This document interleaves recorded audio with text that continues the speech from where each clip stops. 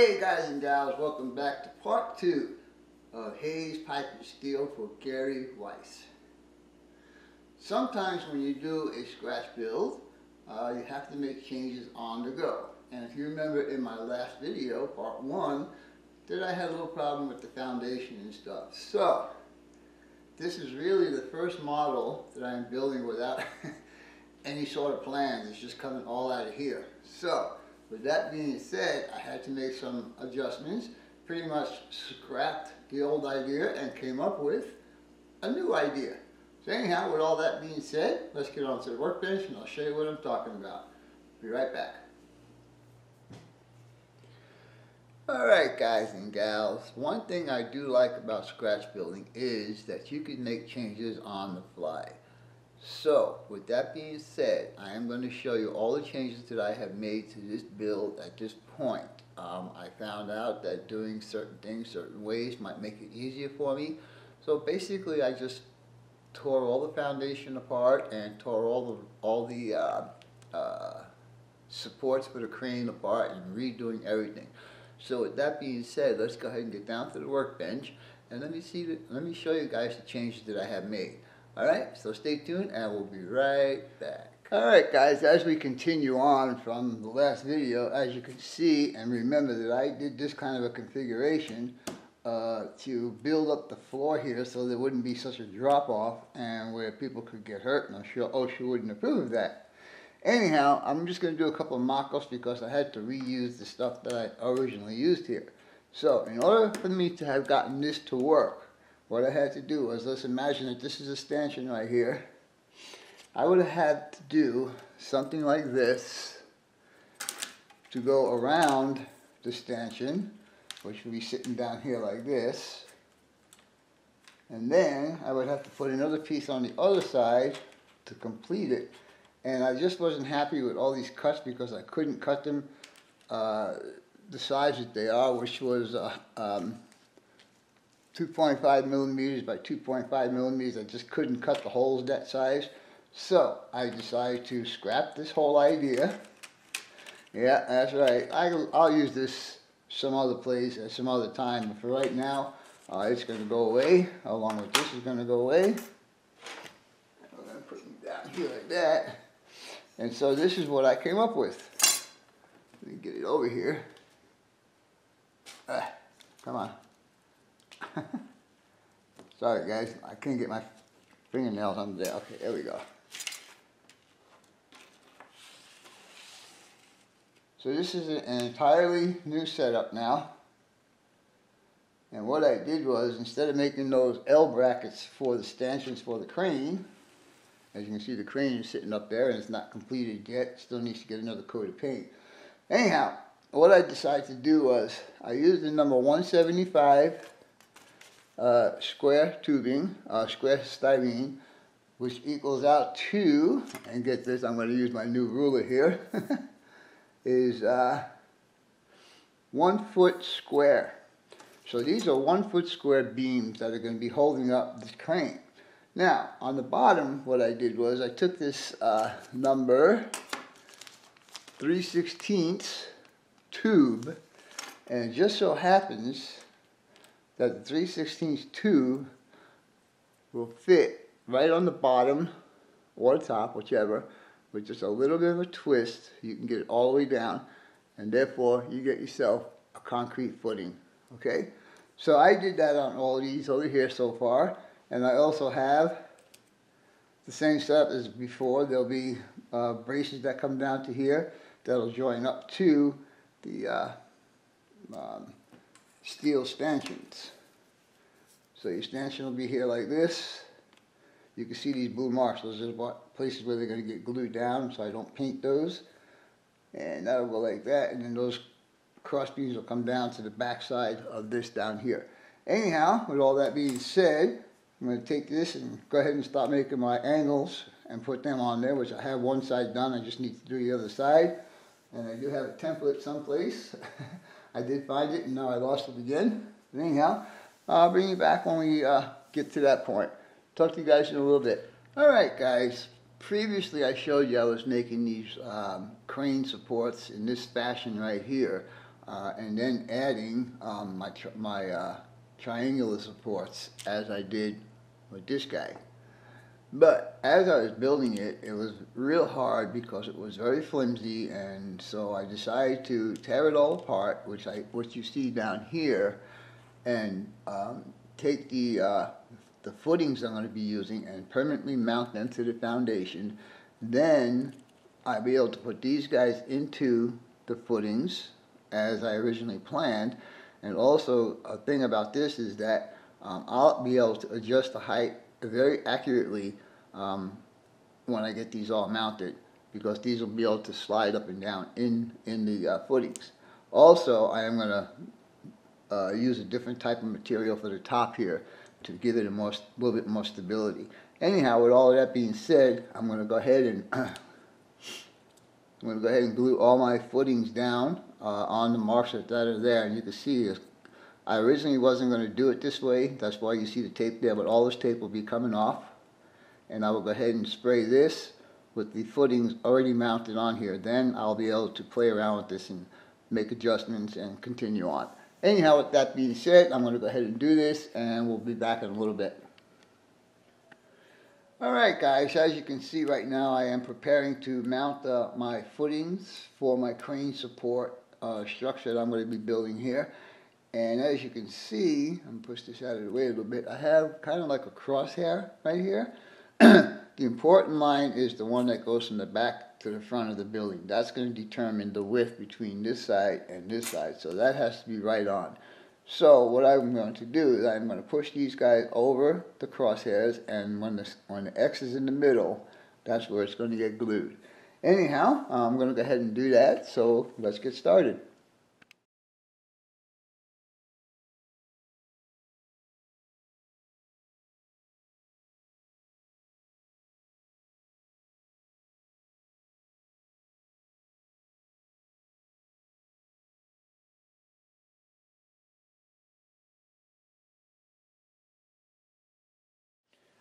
Alright guys, as you can see, I've got them all glued down right now. So I'm going to let those dry up and in the meanwhile I'm going to start doing the same thing on the other side. I'm going to go ahead and take this all apart. Um, and then I'm going to go ahead and put my angle pieces on these and we'll continue on from there. So when I bring you back, I should have all of these on and uh, the foundation pretty much painted at this point. So with all that being said, I'm going to go ahead and continue on. We'll be back in a little bit. Alright guys, as I have shown you previously that this number 226 316 tube and the number 175, let me get it here, the number 175 work very well together as far as being a footing as you can see here, and a steel tube. Now the footing is just over two feet in diameter, and this is just over one foot. I know it sounds massive, but it's going to be holding up a crane, so I thought to use heavy, some heavy steel. Anyhow, as I was showing you guys, that you can just take this and you can twist it on, and it goes on pretty easily. What I did was I just shaved down the corners just a bit, so I can just go right in just like that because that's going to help me make adjustments to this uh, when I get it done. So, with that being said, I have this last one to do right here, which goes all the way down. As you can see, I've got all my footings down in there. And just say I have lost the uh, strut. okay, anyhow, well, just to give you an idea how that's done, so we'll be back in a little bit. Alright guys, as you can see I've got this whole, whole row done and I got this row done back here. I just need to mount these. But what I'm going to do next is I'm going to put this number 294 styrene angle across the top like this. And that will make um, my adjustment to and fro. And then these will give me fore and aft. So with that being said, I'm going to go ahead and do this, and as I'm doing it, I will adjust these. I'll be using my little my little square. Uh, I don't really have very much room to do this, so I'm just going to have to put it like here and just eyeball and make sure that it's straight. Anyhow, with that being said, I'm going to go ahead and do this, and I'll bring you back when that's done. Alright guys, as you can see, I've got my crane superstructure kind of completed. Uh, and what I did was I permanently mounted uh, my footings that I showed you that I was going to do. Uh, and as you can see, they're right here. Let's see if I get this in the picture here. You got all of these I have put down on both sides. And to make it easy for me to remove the structure from the footings, what I did was I just knocked the corners down. Just one little thing like that and like that. Just get the corners knocked down the best you can. And then when you have one of these, you can take this and you can just put it right in there and it'll slide right on there. And I made them all loose so I could be able to lift that out. And I also came to the conclusion that I'm going to use uh, the stanchions that I already built to paint this because I will paint the uh, um, the foundation and the footings the same color so I could do that after I paint the, the uh, I'm going to do yellow I think pretty sure on all of this framework right here. And as you can see at the front here and the back here I added a cross beam. Uh, that's going to serve two purposes. Number one it's going to keep the width at least in the front and the back the same. And also because it sticks up higher than the rail uh, it'll be like a stop for the crane. Anyhow uh, next step is going to be to uh, go ahead and paint this and see what it looks like. So anyhow, stay tuned and we'll be back in a little bit. Alright guys, one of the things I really like about scratch building is you can change stuff on the fly. And as you can see right here, I do not have my front uh, elevation uh, support beam in there yet. Uh, I decided I was going to do a little bit more changing to this model to make it look a little bit better. At first, I just had this guy. So it was going to be open with the steel structure showing. I kind of didn't like that too much, so then I moved on to the same structure, but this time with some of the sheathing on there. And that looked okay, but I always I thought that this hole was just way, way too big, especially for being in Kansas. So you could imagine the wind that's going to be whipping through there. Anyhow, my final decision is going to be this right here which I think is going to look a lot better. And you'll still be able to see the crane through here. Uh, I'll also be able to put a decal up in here, which is another good thing. And it matches up with the rest of it around the entire uh, structure. So anyhow, um, this is what I'm going to go with. Um, I hope you guys like it. I know I do. anyhow, we'll get on with the rest of this build. Alright guys, what you're looking at now is the uh, assembly or the structure that will hold the crane up. I painted it with um, this flat gray primer and um, I painted this with sun yellow and I think I'm going to change the color because I think it's just a little bit too bright. But anyhow, my next step is going to be two things.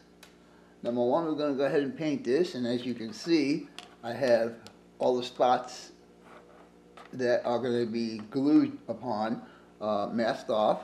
You see I have my, my uh, footings all set down there. And also what I'm going to do is I take this 5 thousandths styrene and I put it underneath like that to keep this from spreading, unwantedly spreading. So, with all that being said, I'm going to go ahead and glue this to this, and I'm going to take it out to my garage and give it a spritz with uh, uh, winter gray, and it's a high gloss, and I will dull coat it afterwards, but it's a winter gray, as you can see right there.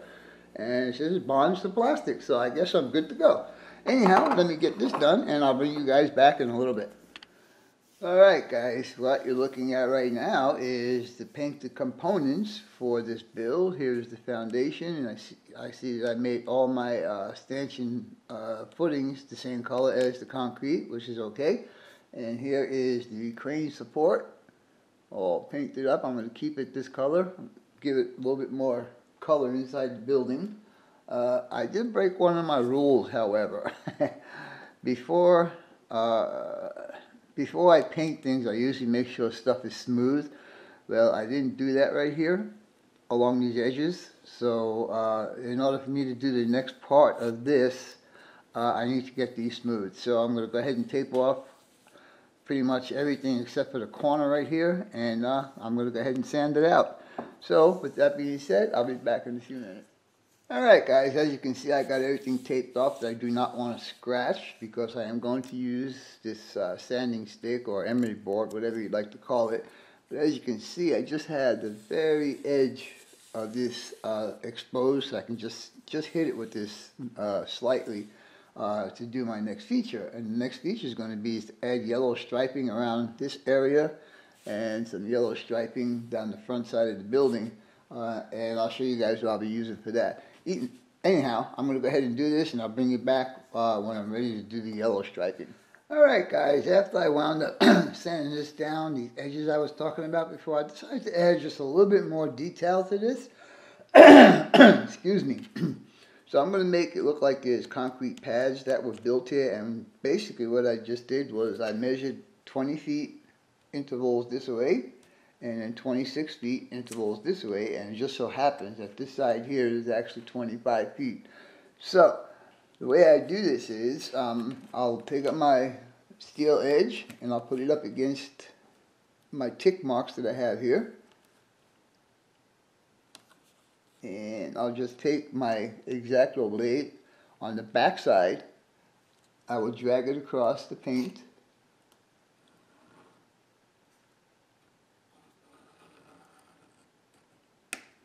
like that, and voila, you have a joint line. so I'm going to go ahead and finish this off, and I think that's all the detail I'm going to be doing to this foundation for now. Uh, so let me get that all done. I'm going to have to repaint the whole thing because I can see I scratched a couple of spots here. Uh, so anyhow, I'm going to go ahead and paint it, and then I'm going to give it a dull coat and let it dry, and then we'll start. Uh, the last part of this video would be for me to um, take this guy and put him in his space like he's supposed to be. And then we'll see how we go from there. But anyhow, I'm going to go ahead and finish this up and we'll be back shortly. Alright guys, what you're looking at now is me trying to test fit all of this stuff, make sure it's all going to work. Uh, and I came to a realization. Um, these stanchions right here are going to protrude past the building.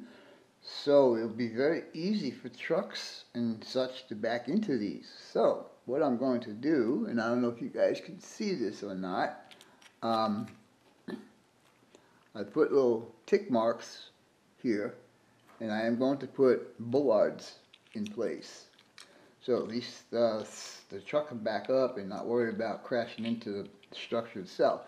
Then I was also thinking about, I'm going to need a little office for this, for this little uh, industry right here. So a while back, John Tanzillo, oops, John Tanzillo made this for me and told me to use it wherever I decided to use it. So, with that being said, this is a little shack.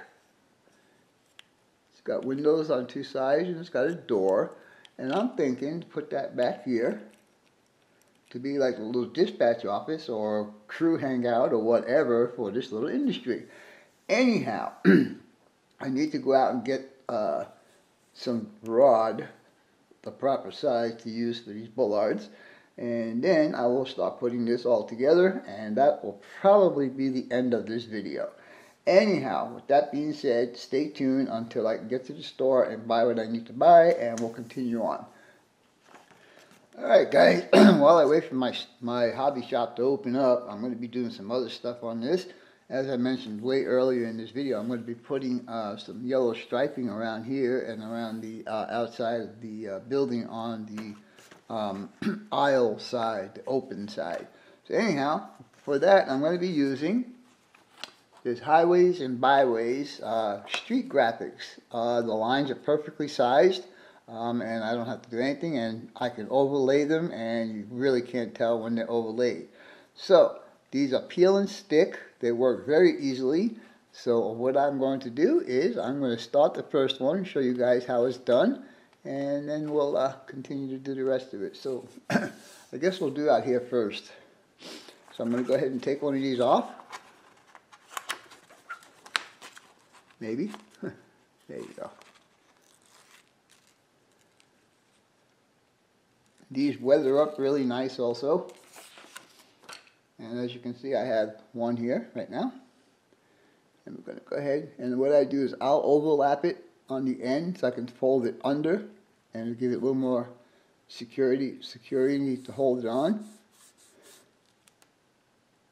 And this is done before I put the uh, dull coat on, guys. So I'm putting this on a glossy surface, and it should work out really good.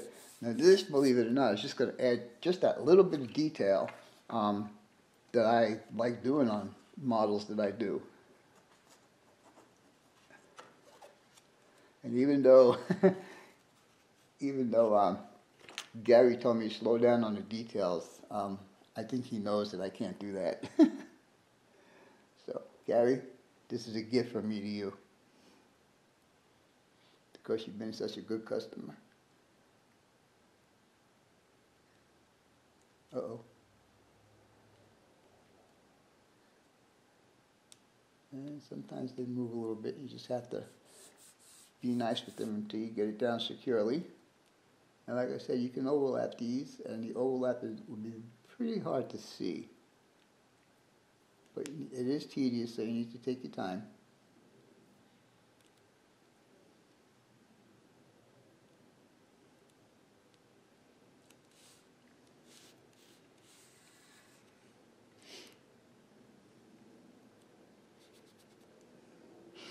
And like I said, I always cut it long and tuck it under just to give it that extra little hold power. Now this one little piece right here, we're going to use that back here. So I'm not going to do anything with it. I'm just going to kind of put it there for now, and we'll come back and get that one later. But anyhow, as you can see, we had the first yellow stripe down. And that adds just a little bit of detail. So now I'll just take this guy and just fold him under, press him down good, and just push down. Uh, these are pretty durable, so you can uh, handle them rough, but not extensively rough. And like I said, they will take the weathering. And there you go, first piece done. Anyhow, I'm going to do the same around here. And uh, then we'll just wait till the store opens so I could do my bollards. Alright, we'll be back in a little bit.